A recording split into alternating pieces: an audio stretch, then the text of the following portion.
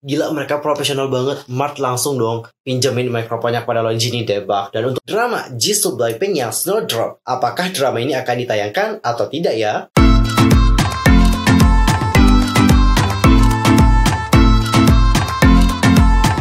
Hai guys, I'm Mr. Kim. Welcome back to my YouTube channel. Nah, gimana kabar kalian hari ini? Baik-baik aja dong ya. Dan buat kalian yang gak lagi baik-baik aja, pokoknya tetap semangat ya guys. Don't give up. Nah, untuk hari ini aku akan membahas mengenai update berita dari dunia perkepopan yang pastinya sangat sayang banget untuk kalian lewatkan. Untuk kali ini kita punya tiga topik. Yang pertama datanya dari Kingdom, yang kedua datanya dari Longini NCT Dream, dan yang terakhir adalah dari drama Jisoo yang terbaru yaitu Snowdrop. But wait, sebelum kita bahas bersama-sama, pastikan untuk tekan tombol subscribe, bunyi loncengnya, serta jangan lupa juga buat like, comment, and share ya kepada teman-teman K-popers yang lain. Tanpa basa-basi lagi, langsung aja yuk guys kita bahas bersama-sama. Oke Cinggu, untuk pertama kita akan mulai dulu ya ngebahas tentang Kingdom.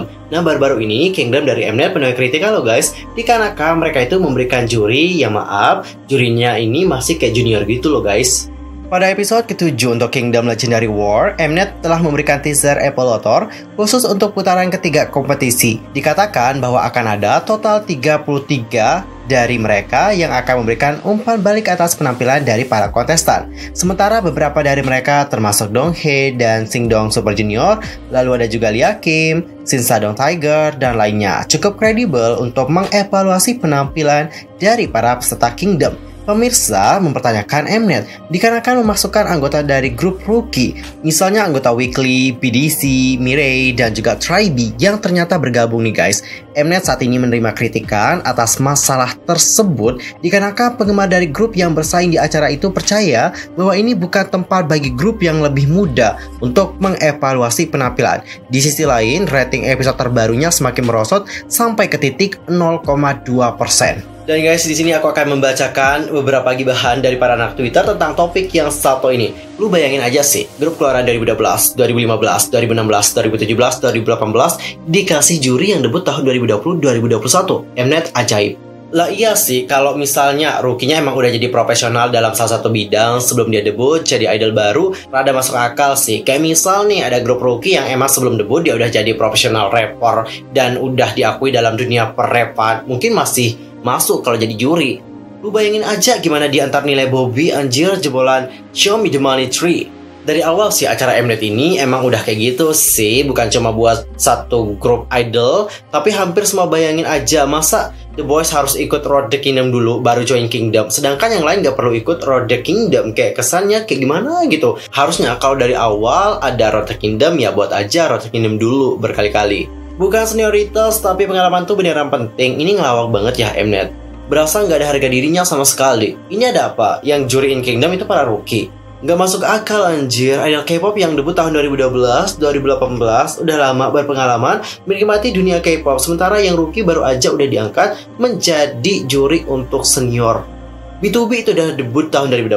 Mereka pengalaman udah lama banget di industri K-pop, di mana banyak liku-liku kehidupan dan yang nilai mereka adalah junior, Mnet kalau ngasih aturan suka di luar nalar. Export evolution aja nggak ketahuan orangnya yang mana. Beban juga nggak sih buat curi kelahiran 20-21an ketika lu berani cacing performance Sunbel lu, di masa depan lu dituntut buat jauh-jauh lebih baik dari apa yang udah lu speed out. Kalau sukses bener, tapi kalau ternyata stage present belepotan. Bener sih guys, kalau aku lihat sih ini juga beban banget sih buat para idol rookie yang hadir untuk menjadi juri di acara tersebut. Mungkin mereka juga agak ragu sih ya untuk menerima tawaran tersebut. Kenapa di sini? Karena beban mereka itu benar-benar berat. Kalau mereka salah-salah komen, kalau mereka salah-salah ngasih kritikan, entar mereka dihujat banget loh guys, serius. Jadi kayak aku sih kalau ditawarin ya, misalnya aku rookie nih, kalau ditawarin beribu-ribu kali aku mohon maaf deh nggak bisa deh, takut, takut, aing takut, aing. Soalnya kemarin ada salah satu itu yang jadi juri yang rookie nih itu kayak di head banget sama orang-orang. Kenapa? Karena dia di sini kayak melakukan something ya you know lah ya rookie apa yang aku maksudkan. Gak perlu aku spill tea lebih dalam lagi. Kayaknya kalian itu pasti udah pada tahu. Intinya guys balik lagi ya jangan sampai kalian tuh ngehit para rukinya gitu karena rukinya di sini juga ya mau nggak mau ya karena mungkin tuntutan dari agensi mereka yang dipilih udah mereka join ke acara tersebut. Jangan sampai kalian itu ngehit mereka. Kasihan loh guys. Dan meskipun untuk rating dari Mnet sekarang emang anjok banget ya, sampai 0,2%, tapi aku rasa ratingnya akan benar-benar naik deh. Karena kemarin kita udah ngelihat bagaimana previewnya. Previewnya itu akan ditampilkan Mion dan juga Lisa dari Blackpink. Yang mana nih guys, penampilan Mion dan juga Lisa itu benar-benar perfect banget. Mion akan ngebantu performance dari B2B, sedangkan untuk Lisa akan ngebantu performance dari Icon. Wow, cinca deh bang. Eh, BTW karena Mion sama Lisa kan udah ngebantu nih Sun Benimnya. Masa sih yang lain juga nggak ngebantu nih? Misalnya kayak Twice mungkin yang akan ngebantu Stray Kids, atau member IZZY yang akan bantu Stray Kids, atau gimana nih? Aku penasaran banget, apakah akan gitu juga? Kayaknya sih bakalan pecah banget. Yang pun sumpah dari sekian banyak episode untuk yang Kingdom, aku paling penasaran banget sama episode yang minggu depan. Lisa dan juga Mion akan menjadi penyelamat untuk rating dari Kingdom yang sekarang bener-bener anjlok gila 0,2%. Setidaknya satu ke atau 2% gitu ya. Ini 0,2 anjir, jauh banget. Dan jika sekarang kita akan masuk ke topik yang kedua, kali ini kita akan ngebahas tentang launching dari NCT Dream. Jadi baru-baru ini launching itu menjadi viral. Kenapa launching ini viral? Karena dia itu menyanyi tanpa menggunakan mikrofon. Launch ini dari NCT Dream langsung menjadi perbincangan hangat di kalangan netizen setelah tampil di program Music Bank. Jadi pada hari Jumat tanggal 14 Mei, NCT Dream menampilkan dua lagu baru mereka di program Music Bank yang berjudul Hot Sauce dan juga Dive Into You. Namun, sebuah insiden lucu terjadi guys ketika anggota NCT Dream menampilkan lagu mereka yang berjudul Dive Into You. Para penggemar menyadari kalau launch ini itu tidak menggunakan mikrofon sepanjang penampilan lagu tersebut. Mulanya Longini juga tampak tidak sadar kalau ia itu sedang menyanyi tanpa menggunakan mikrofon. Pada pertengahan penampilan, Mark memperlihatkan sikap profesionalnya dengan meminjamkan mikrofon miliknya kepada Longini. Melihat insiden tersebut, para penggemar pun langsung memberikan berbagai komentar dukungan mereka kepada Longini dan mengatakan bahwa ia telah bekerja keras dan juga berusaha sebaik mungkin. Setelah episode Music Bank tersebut ditayangkan, nama Longini langsung menempati peringkat pertama pada daftar trending topik Twitter di Indonesia.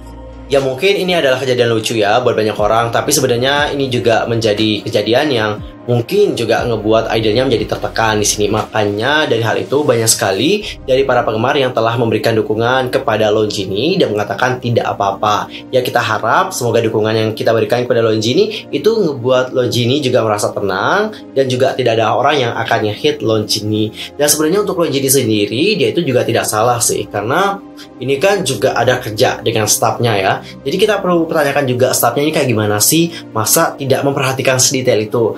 Apalagi kan ini masalah mikrofon ya. Jadi mikrofon itu pasti suatu hal yang paling dibutuhkan oleh penyanyi saat dia itu pengen bernyanyi gitu. Kalau nggak ada mikrofon gimana dia bisa nyanyi? Bener nggak guys? Ya kalau staffnya dikritik, aku nggak heran sih. Karena ini tuh merupakan salah satu kelalaian juga dari para staffnya. Ya yang namanya human juga ya guys, pasti ada kekeliruan juga. Kita maklumi sih.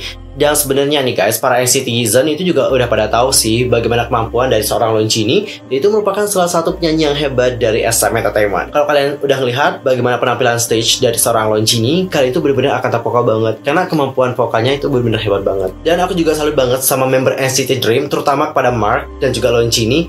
Gila mereka profesional banget. Mark langsung dong uh, pinjemin mikrofonnya kepada Longini Debak dan untuk Longini dia itu tetap tampil tenang tanpa ada rasa yang benar-benar kayak khawatir atau risau. Itu tetap langsung aja tancap habis saja nggak apa-apa itu oke okay. gila sih mantap banget. Dan cinggu sekarang kita akan masuk ke topik yang terakhir. Kali ini datanya dari drama Jisoo Blackpink yang Snowdrop. Apakah drama ini akan ditayangkan atau tidak ya Blue House akhirnya memberikan pernyataan resmi mereka terkait petisi untuk menghentikan syuting drama Snowdrop. Sebelumnya, masyarakat Korea Selatan membuat sebuah petisi di website resmi kepresidenan Korea Selatan, Blue House. Petisi itu dibuat oleh netizen Korea lantaran adanya dugaan distorsi sejarah pada alur cerita dari drama Snowdrop. Menurut aturan di website Blue House, sebuah petisi akan ditanggapi oleh pemerintah setelah mendapatkan lebih dari 200 ribu suara. Dan setelah petisi tersebut juga melampaui 200 ribu suara, kini pihak Blue House memberikan pernyataan resmi mereka.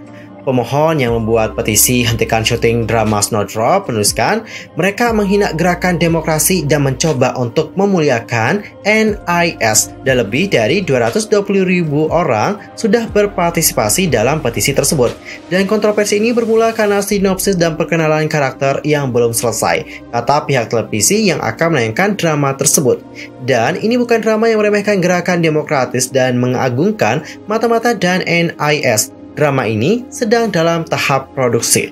Pihak Blue House juga melanjutkan, secara khusus intervensi langsung pemerintah dalam sebuah karya dapat melanggar kebebasan berekspresi, sehingga membutuhkan pendekatan yang hati-hati. Pemerintah menghormati keputusan otonom yang diambil oleh sektor swasta, termasuk content creator dan produser yang membuat konten-konten yang bertentangan dengan sentimen nasional.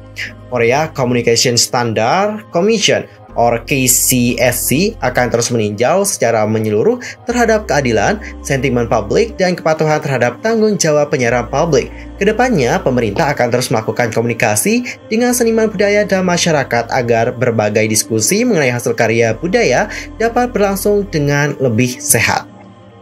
Jadi Cinggu yang dapat kita simpulkan dari pernyataan pihak Blue House tadi Untuk syuting dari drama Snowdrop itu tidak dihentikan. Akan dilanjutkan syutingnya. Kenapa mereka tidak menghentikan uh, dramanya? Meskipun udah banyak yang tanda tangani petisi Sampai 220 ribu orang loh guys. Udah lebih banget. Karena di sini itu akan melanggar kebebasan dari orang-orang untuk terus berkarya. Ini kan dramanya juga belum tayang. Orang-orang juga tidak tahu bagaimana cerita yang sebenarnya. Dan orang di sini cuma melihat satu sisi saja dari sinopsis yang mana ceritanya itu juga belum tuntas. Jadi di sini pemerintah itu akan melakukan pendekatan secara baik-baik dulu, dilihat apakah dramanya emang mendistorsi sejarah atau kayak mengagung-agungkan NIS. Kalau emang terbukti melakukan hal tersebut, maka nanti akan ada hal yang akan terjadi ke depannya. Karena ini juga belum tayang, semuanya juga tidak tahu bagaimana cerita selengkapnya. Jadi ya udah, untuk sekarang kita tunggu aja bagaimana tayang dari drama Snowdrop. Jadi buat para penggemar Jisoo dan juga yang udah nungguin drama dari Snowdrop, sekarang dapat tidur nyenyak ya guys karena dramanya juga dapat ditayangkan. Oke cinggu sekian aja untuk hari ini. Aku mohon maaf kalau ada kesalahan baik dalam ucapan, sikap, tindakan, dan sebagainya. I'm so sorry banget.